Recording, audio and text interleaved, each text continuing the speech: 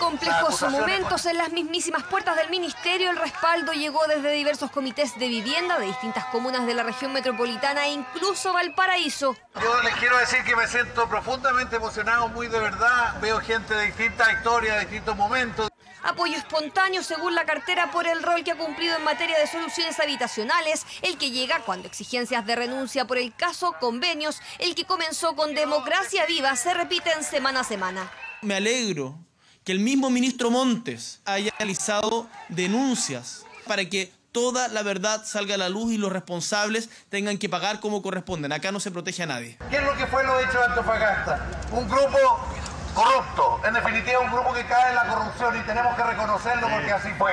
Y eso le hace mal a Chile, le hace mal a esta lucha, le hace mal a la vivienda, le hace mal a todo. Dardo directo a los dos principales involucrados, Daniel Andrade, el director de Democracia Viva, y Carlos Contreras, el ex Ceremi de Vivienda. La ex autoridad responsable de los polémicos convenios insistió y aseguró que antes que estallara el caso al segundo piso de la moneda llegó un informe detallado del convenio con la fundación, convenio según la versión de su entorno firmado bajo presión de quien, de Verónica Serrano, quien no solo lideró el departamento de asentamientos precarios del MIMBO hasta 2022, también es tía del jefe de asesores de la presidencia, Miguel Crispi. La jefatura de asentamientos precarios, nacional y regional, son las principales responsables de la, validez técnica y presupuestaria de los convenios. Sin el visto bueno de esas personas, no es posible eh, realizar el convenio.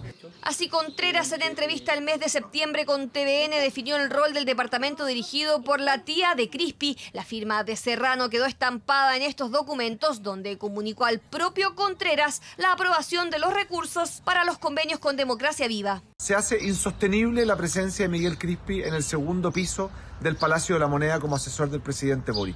Es evidente que Miguel Crispi, por una parte, conocía los antecedentes. Quizás aquí había una especie de red de protección y para apurar esta clase de convenios. Esto es sumamente grave. En torno a Miguel Crispi ya hay demasiadas informaciones contradictorias que no han sido resueltas ni aclaradas y por lo tanto muchas sospechas y suspicacias que están generando un problema al gobierno y a la moneda. Tras la firma de los polémicos convenios, Verónica Serrano dejó el Mimbo en diciembre de 2022, nuevo antecedente en la lista Democracia Viva que se suma a nuevas diligencias decretadas por la Fiscalía. Sergio de, de, de Valparaíso lo allanaron hace poco rato.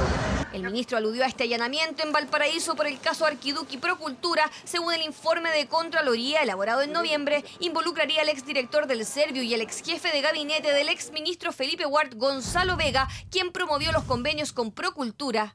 Hay un listado de información que nos han pedido y en ese sentido es lo que vamos a entregar y colaborar. Como Procultura, en calidad de denunciantes, esperamos que la diligencia haya sido acuciosa y que se haya logrado la incautación de toda la información vinculada a este caso, en especial los correos electrónicos de los funcionarios.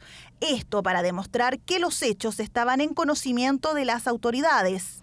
Caso convenios que sigue desatando diligencias que sobrepasaron la región donde todo comenzó, Antofagasta, región en donde el Ministerio Público analizaría los antecedentes que vinculan a la exdirectora nacional de asentamientos precarios.